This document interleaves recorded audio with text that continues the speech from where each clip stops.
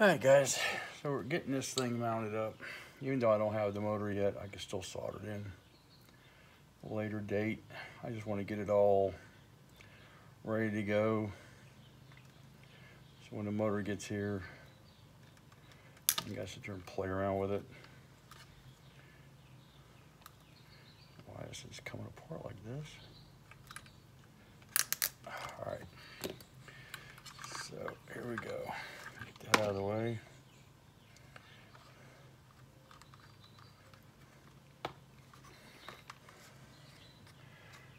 Alright.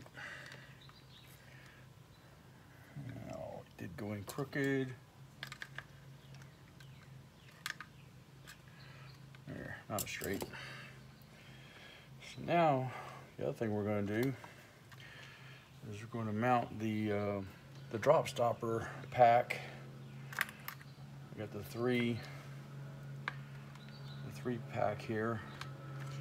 I'm to mount this up next to the chassis. And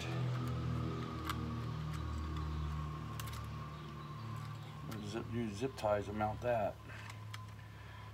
Spread the wire here so we don't get it caught in the thing.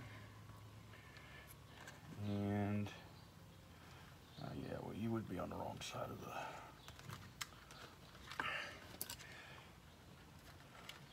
All right. So we're going to put it on the other side here. And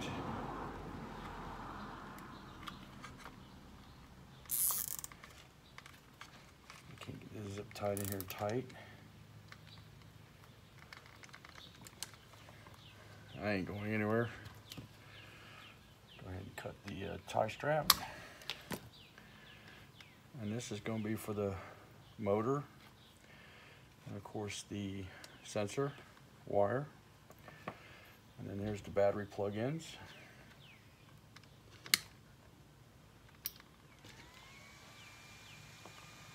There it goes. Everything will be wired in nice. Unplug.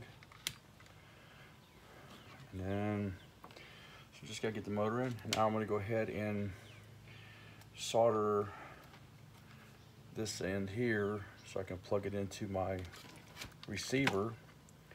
And that way I can shut the fans off, put it on third channel, shut the fans off so that way they're not running constantly. And when I need them to come on, I can just flip the switch. And eventually how this all will run is and get this wire back on this side here. There we go. So all these wires are going to end up running down the chassis like this, out of the way, and to the motor. And of course this wire here will be running down this direction to the receiver. So that is what we got going on now. And then of course these are the wires from the servo and ESC that I need to work with. So I got my cap pack in here, or better known as the drop stopper, right there, tied into the battery wires. Got my RX-8 here. My receiver, which probably not using this one, will probably end up going on top of the servo and just gotta have a motor now. Okay guys, so I got everything all wired up except for the motor. Got the fans wired up here, these two fans and them, this one's running. And I'm just now waiting for the my receiver and my motor. Okay. We got the steering here working. So we're gonna fix, finish fixing the steering situation.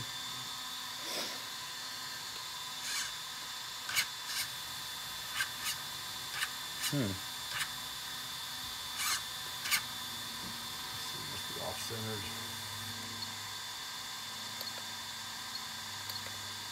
Mm-hmm.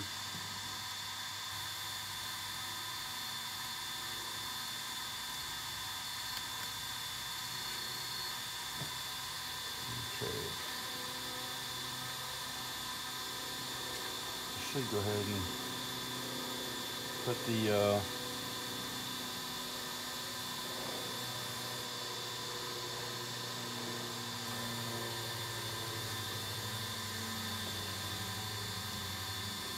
put the uh, what do you call it servo saver in.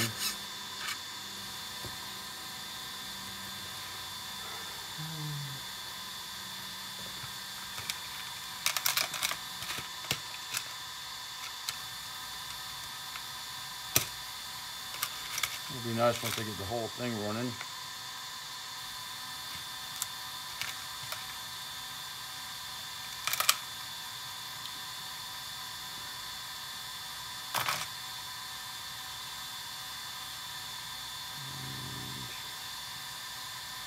I'm sure this is the right one that I had on it.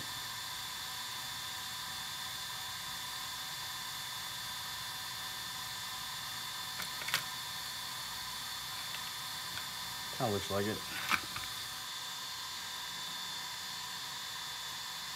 If not, change it out anyway.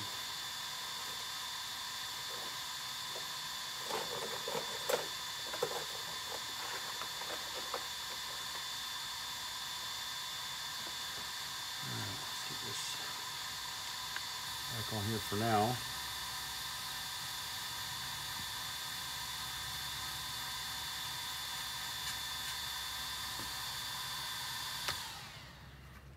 Tear the servo up. Okay.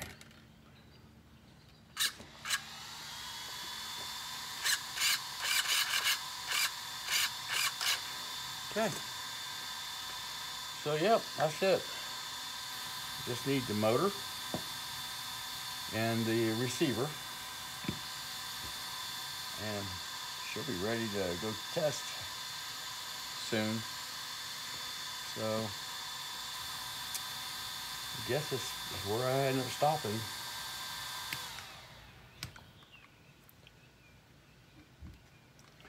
I'm just gonna put some temporary zip ties here for now until I get ready to do it. I'll cut this off. Let's just keep the wires from getting in the way right now. But it's pretty much where it's gonna all go in here. The motor.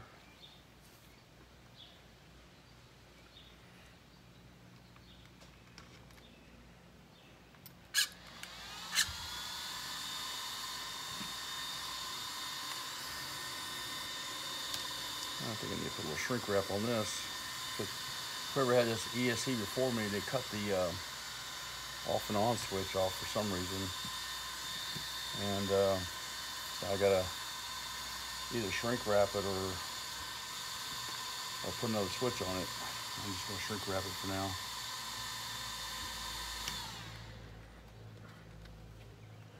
I think it'll be probably a little bit better than just uh, having a naked wire sitting there. I think I'll find me some small shrink wrap. I'll be right back.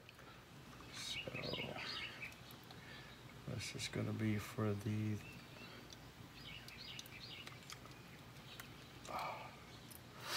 and then it's gonna be for the steering.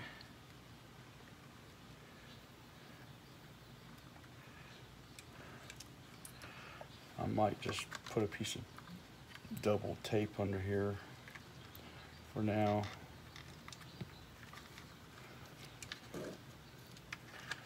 Just to see how it's gonna look all nice and tidy.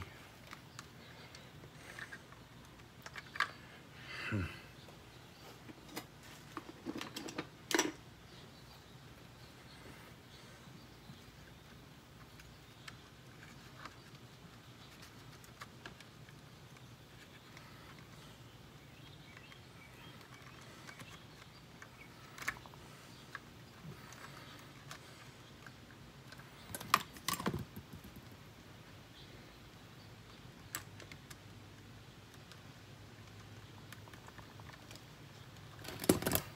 Okay. That's gonna go like that. The receiver will go here like this. And cleaned up like that. So I'm just gonna go ahead and put a piece of tape under this, this receiver and just make it done for now until I get the other receiver in. And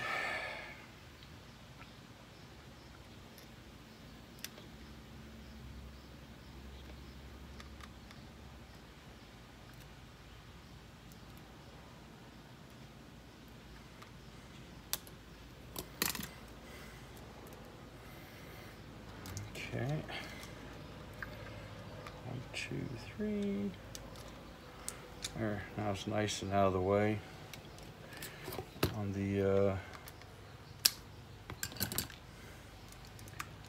oops, on the servo.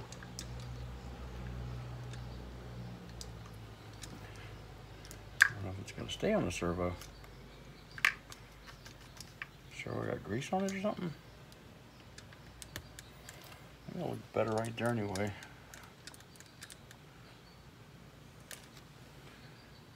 Wow, it's actually sticking on that mount better.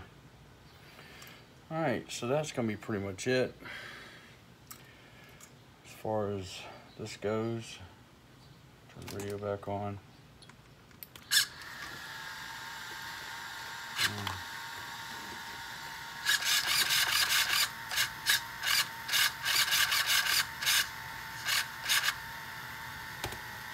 All right, that's it.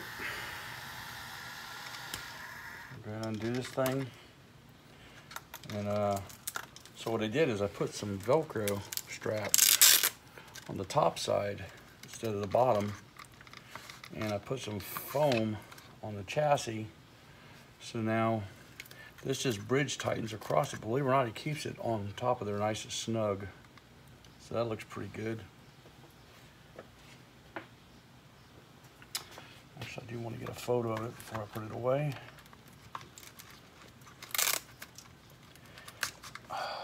I gotta do them Facebook photos. Plug this all back in. Alright guys, well that's it for now. I will be back. We're probably gonna have a run video. I'm not going to sure if it's gonna be this one yet, but maybe we'll take the other ones out for a run. I still have the vet back here behind me that's got the 3.5. It doesn't have this custom chassis, but if I like this enough, I may end up getting that. I kind of want to get a rear motor carbon fiber chassis for that one. So I'll have a rear one, a mid one, and so forth. So anyway, that's it for now.